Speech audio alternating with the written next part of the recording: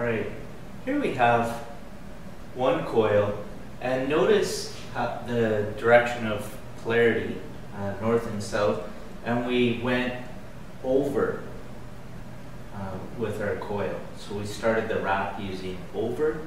Uh, over here, want to use under, and we'll see what happens to the direction of polarity.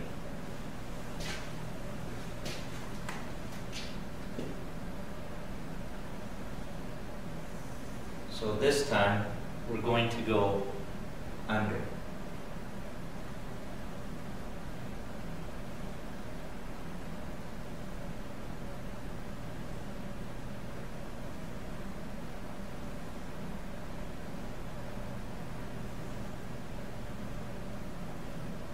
All right, and back up.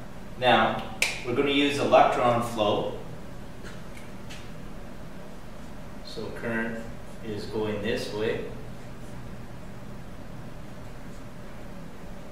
Notice the direction.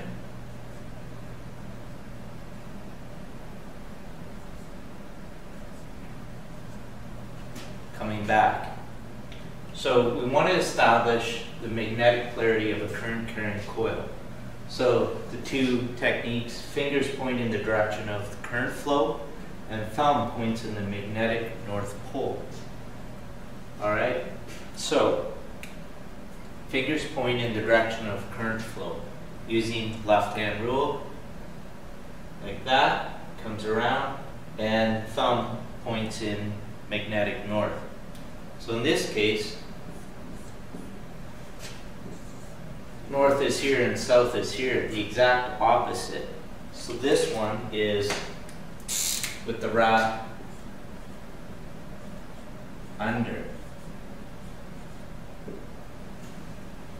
So you can change the direction of your electromagnet by just changing the way you wrap it.